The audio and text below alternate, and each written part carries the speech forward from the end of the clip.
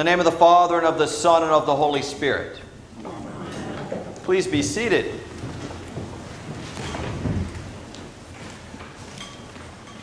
Well, I don't wish to incriminate anybody, but two of the youngest residents of the rectory uh, have very selective hearing.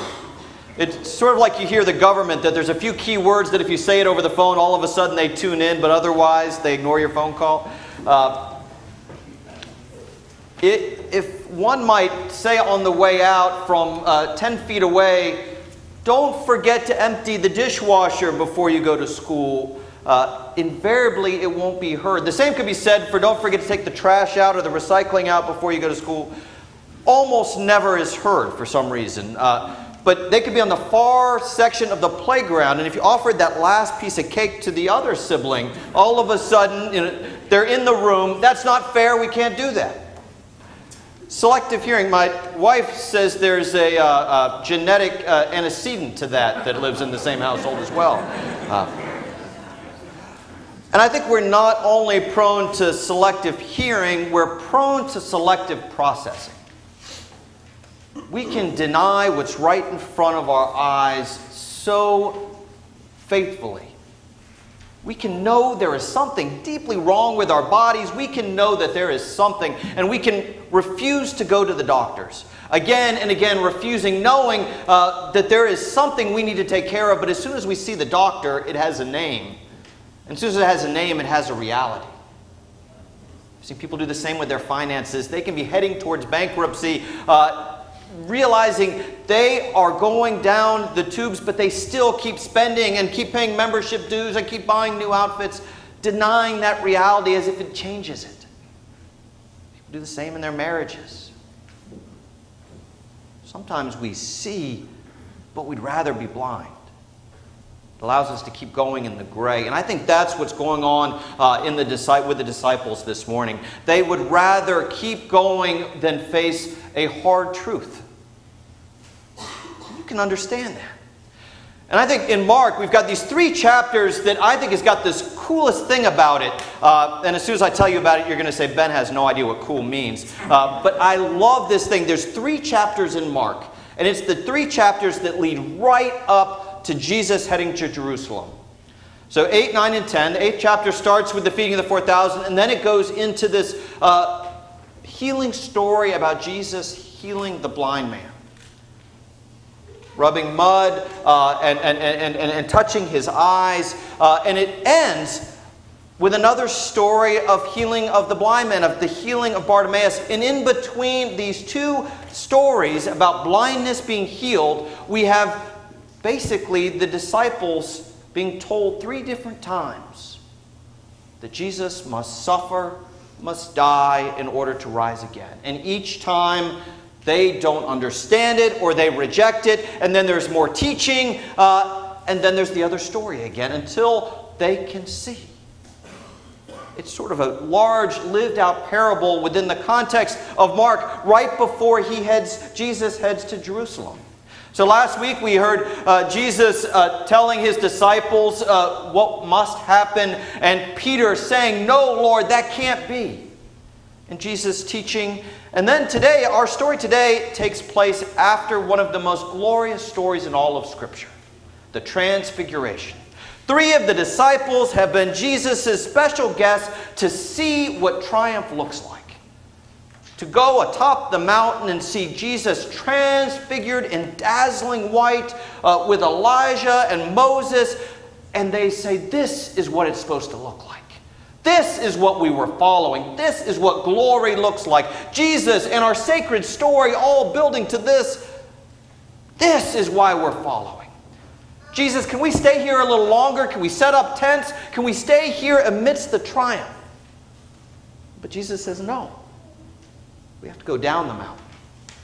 And then they go down the mountain, and the first thing that happens when they get down the mountain is another healing story. And with Mark, each healing story has a parable wrapped up in, inside of it. And it's a healing story uh, of this child, this young boy uh, uh, who is uh, in uh, absolute configurations. He's just, he absolutely is convulsing uh, and shaking, and they believe he has demons, and they can't get them out of him, and they've tried everything, including the disciples. And Jesus is frustrated. Jesus says, You know you have the capacity to do this. Why didn't you heal this man? And they said, We tried. We just couldn't do it. We tried. And so Jesus, somewhat exasperated, heals him. And then the disciples afterwards say, Jesus, why weren't we able to heal?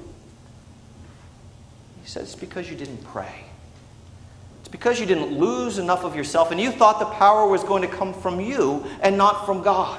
You didn't let yourself get small so that God could work through you and make you large and able to do incredible things. And there will be a time when I'm not with you and you are going to need to be filled with the power of God. And from that story, we get to what we have this morning, which is Jesus again uh, walking uh, with, the, with his followers, and he's telling them again, You have to hear this. This is what's about to happen. I am going to suffer. They're going to arrest me. I'm going to. Uh, to die upon the cross, and then eventually I will rise again in triumph. And you can only imagine Jesus as the disciples, they're afraid to ask him any questions. They're afraid uh, either because they don't want to know any more truth, because they're perfectly content in the gray unknowing, uh, or because they don't want to be the first one to say they don't quite understand it. But really, I think it's because they don't want the answer. They don't want to know more of the truth. So they go into this conversation uh, that seems entirely inappropriate given what Jesus has said. But sometimes you, know, you watch children uh, and they respond what seems inappropriate to a certain moment because they can't handle the moment. We adults do the same thing. So Jesus asked them, What were you guys talking about after I told you uh, that I must uh, suffer and die and, and rise again? And uh, they got quiet because they knew they were talking about something that really wasn't important to Jesus. So finally, Jesus asked them again, and they said, Well, I guess we kind of got into an argument about who was the greatest. I said Peter, he said John. It's, you know. And Jesus says, You, you got to get this. You got to understand that this is not about greatness, this is about being a servant to all. This is about being willing to put yourself after the needs of others. If you want to be great, be great at taking care of the least and the lost and the disenfranchised. If you want to follow faithfully, be willing to be a servant to make sure that every single person has the basic needs that they're entitled to. Concern yourself with the least if you want to be the greatest in following me faithfully. And then Jesus goes on to take a child and don't think of what we think of uh, a child today. Uh, think of somebody who's regarded as having no value.